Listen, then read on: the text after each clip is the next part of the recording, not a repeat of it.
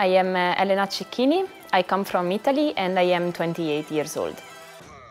I think as a really competitive and sportive person there is nothing better than winning races so I really need to be in a, in a winning team and SD Worx has been the most uh, successful team in the past years so that's why I choose to join the team.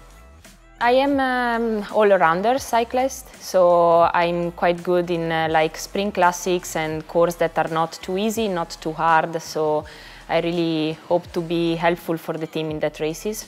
I like racing because I think that nothing gives you such an adrenaline or goosebumps like uh, racing.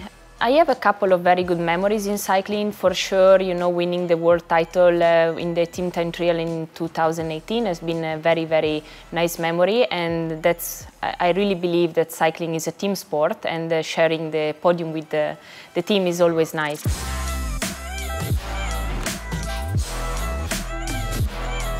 My ambitions for 2021 is uh, to be a really strong rider through the season to help my teammates uh, when it comes to help. Maybe to also win a couple of races would be nice. For sure there is uh, also the Olympic goal, uh, but I think it's something that uh, comes uh, as a consequence if I'm, I'm going to ride strong. I would definitely want to win Trofeo Binda because it's an Italian race and I really love that race.